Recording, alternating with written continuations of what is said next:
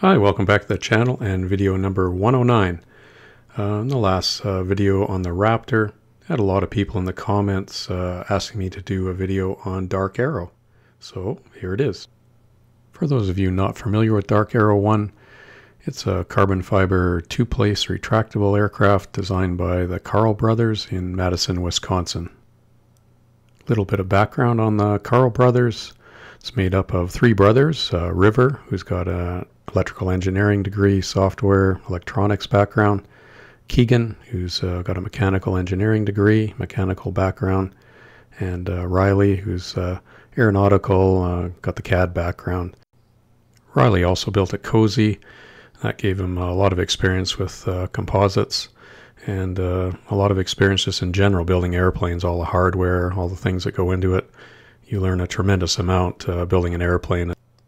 So these guys are uh, young but very enthusiastic about this project, and I think uh, their engineering background really shows here.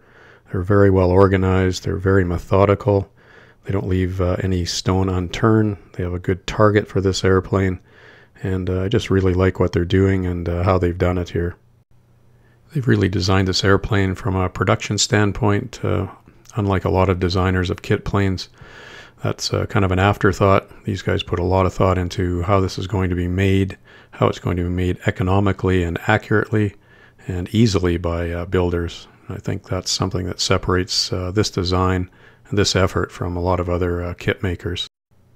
These are the basic specs they're projecting, and there just isn't much uh, new available in fast retractable two-place sport planes anymore. Uh, most of the stuff uh, being offered today has got large engines, uh, far more expensive, heavier, all that. Uh, they're trying to get good performance with lightweight here. DarkAero is about the same size as the Lancair 320, 360. Same sort of cockpit width, uh, wingspan, wing area is pretty close, weight uh, kind of close, although with carbon fiber it's a bit lighter than the Lancair. Of course, the Lancair 320, 360 kits haven't been available for a long time now. DarkAero is smaller and much lighter than something like a Legacy, and the Legacy is no longer in production either.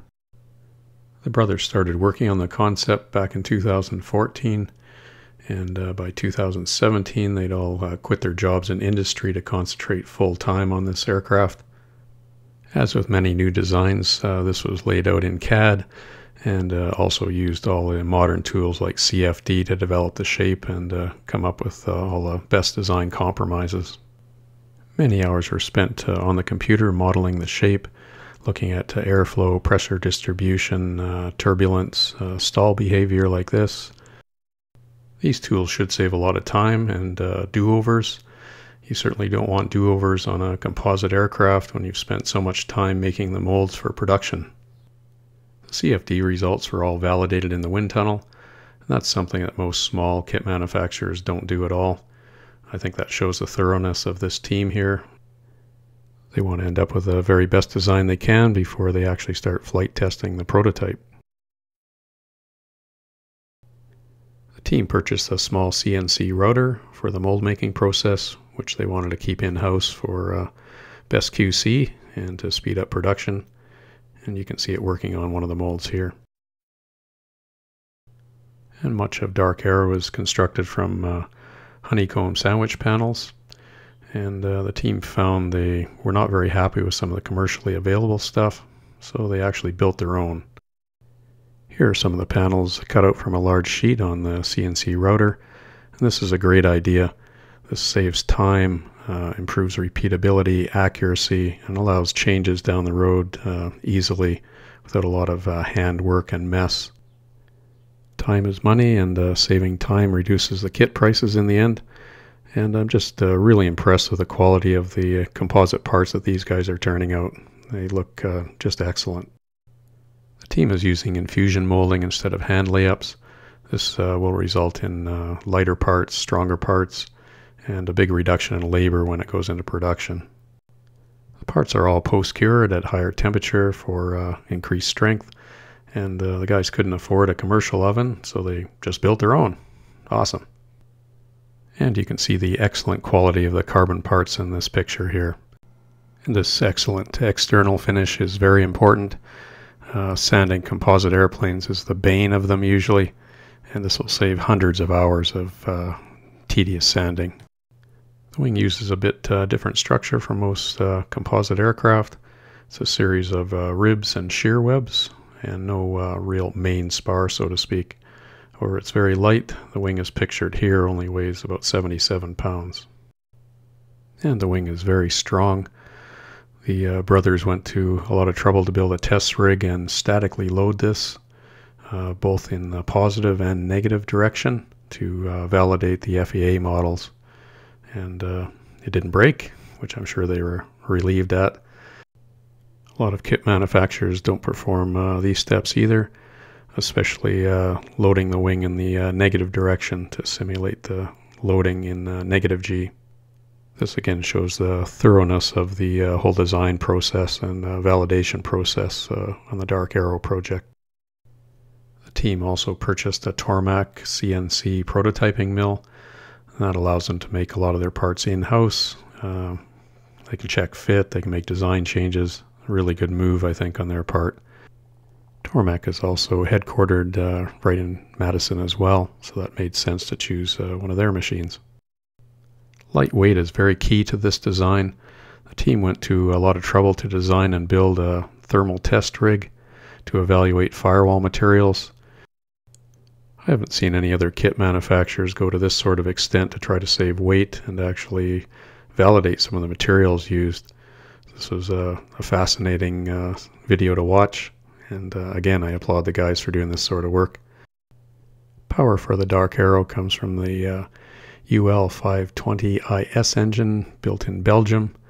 This is a FADEC equipped uh, flat six air cooled direct drive engine, only weighs 238 pounds, puts out 200 horsepower at 3300 RPM. And I think this was uh, totally the right choice. Uh, it's a more modern engine. The lightweight was very important. Uh, FADEC equipped. And uh, though it doesn't get any better fuel specifics than a Lycoming, just seems like the uh, logical engine choice for a new design like DarkAero. So during some of the videos, we saw that uh, some of the parts were made over again. The team uh, wasn't satisfied uh, that it was the best part they could make. They could maybe improve on uh, making it lighter or stronger or uh, making it less expensive to build by cutting machining time. So they weren't just satisfied that it was good enough for a prototype. They wanted to try to do their best, make the part as light and functional as possible. And I really like that approach. The design uses a few uh, different ways of doing things. They have a split rudder design that's a bit interesting. They also use a lot of aluminum in the landing gear and uh, electric actuation. They're trying that. We'll see how that all works out. They've done the engineering analysis for these parts, and uh, I applaud them for trying some new things here. One other thing I was most impressed with was uh, the way they've approached the uh, build instructions on this. It'll be online, it'll kind of be interactive. You'll be able to look at uh, different perspectives in CAD. Uh, they've got excellent uh, detail on all uh, documentation, step by step. I think this carries the kit building process to a new level. I think this is going to be really good and probably something that uh, other manufacturers will uh, be forced to copy in the future, perhaps even. So uh, kudos there, guys. This is uh, really good. It'll make the airplane uh, much easier to build. It'll reduce the amount of time you spend on tech calls. It shows the very high attention to details these guys have to turn out an excellent kit here. These guys really put out some excellent videos. They're very informative, very well done. If you haven't watched them yet, you should. So here's the uh, basic specs on the DarkAero one.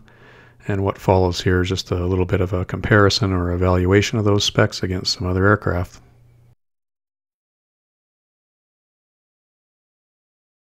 So how does DarkAero compare to other aircraft out there? Well, about the only thing comparable is probably a Lancair 360. And uh, I've just got a spec chart here that I put together. Uh, Proposed empty weight for the DarkAero 1 is 750, gross 1500, useful load 750. Uh, it's got a very small wing on it, uh, which is good for low drag and cruise, but may affect other things like stall speed, uh, service ceiling, and rate of climb. Engine's rated at 200 horsepower. However, That's at uh, 3300 RPM. Chances are they won't be turning it that fast. Uh, in reality, at about 2800, it's making about 185 horsepower. So pretty comparable to the Lycoming parallel valve engine, uh, 180 horsepower. And 75% uh, cruise, 275. Rate of climb 2500, range 1700 statute miles. Uh, it carries a lot of fuel, 77 gallons, and the stall speed uh, 70 miles an hour. So if we compare to the Lancair 360, which is about the closest comparable aircraft that exists, uh, the DarkAero is much lighter. Useful load is uh, lower on the Lancair as well because it's heavier. Lancair's got a little bit bigger wing, and uh, we'll say about the same horsepower. Uh, cruise is only 235. Rate of climb uh, less as well. Range less because it carries less fuel.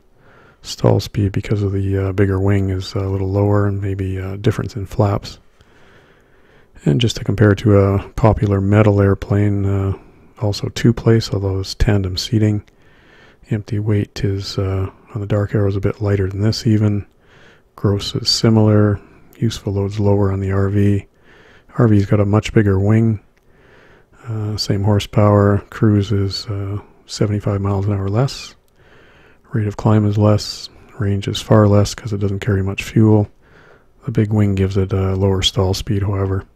And the figures in red here are what I estimate to be closer to the actual figures that DarkAero might achieve. I think it'll be a bit heavier. I'm estimating about 820. We'll say the gross is the same. The useful load uh, drops from 750 here to 680. Wing area, of course, is the same. Like I discussed on the engine, um, I think it'll be closer to 185 horsepower, turning 2800, which is a more realistic RPM for the propeller.